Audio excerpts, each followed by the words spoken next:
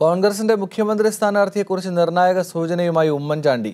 മുഖ്യമന്ത്രി സ്ഥാനാർത്ഥിയെ തീരുമാനിക്കുക ഹൈക്കമാൻഡാണെന്നും രമേശ് ചെന്നിത്തല പ്രതിപക്ഷ നേതൃസ്ഥാനത്ത് കാലാവധി പൂർത്തിയാക്കുമെന്നും ഉമ്മൻചാണ്ടി പറഞ്ഞു. എന്നാൽ ഹൈക്കമാൻഡ് ആവശ്യപ്പെട്ടാൽ മുഖ്യമന്ത്രി സ്ഥാനാർത്ഥിയാകുമോ എന്ന ചോദ്യത്തിൽ നിന്ന് ഉമ്മൻചാണ്ടി ഒഴിഞ്ഞു മാറി. കോൺഗ്രസ് ഗ്രൂപ്പ് രാഷ്ട്രീയത്തിൽ വരാനിരിക്കുന്ന നാളുകൾ ശക്തമായ അടിയൊഴുക്കുകളുടേതാകുമെന്ന സൂചന നൽകിയാണ് ഉമ്മൻചാണ്ടി തന്റെ വാർത്താസമ്മേളനം അവസാനിപ്പിച്ചത്.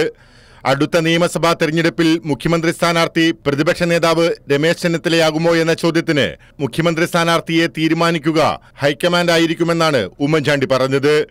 നാലു വർഷം പ്രതിപക്ഷ നേതൃസ്ഥാനത്തുള്ള രമേശ് ചെന്നിത്തല ഇനിയുള്ള ഒരു വർഷവും നേതൃസ്ഥാനത്തുണ്ടാകുമെന്നും പറഞ്ഞു.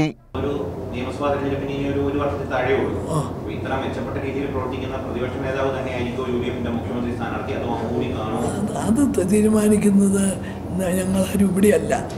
പക്ഷേ അദ്ദേഹത്തിന്റെ നേതൃത്വത്തിൽ തന്നെയാണ് പ്രതിപക്ഷ നേതാവിന്റെ നേതൃത്വത്തിലാണ് കഴിഞ്ഞ നാല് കൊല്ലം പോയത്. അതുപോലെ തന്നെ ഇനി അങ്ങോട്ട് പോകും. സംശയമൊന്നുമില്ല.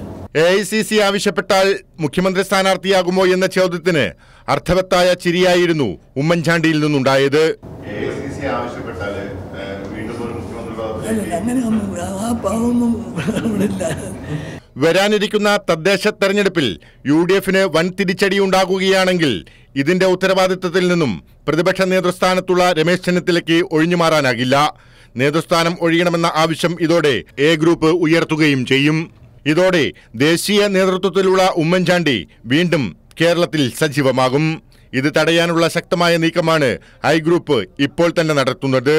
എന്നാൽ ഐ ഗ്രൂപ്പിൽ കെ മുരളീധരൻ ഉൾപ്പെടെയുള്ളവരുടെ പിന്തുണയില്ലെങ്കിൽ ചെന്നിത്തലയുടെ കാര്യം കൂടുതൽ പരുങ്ങില്ലാവും Leslie John Kairali news Thiruvananthapuram.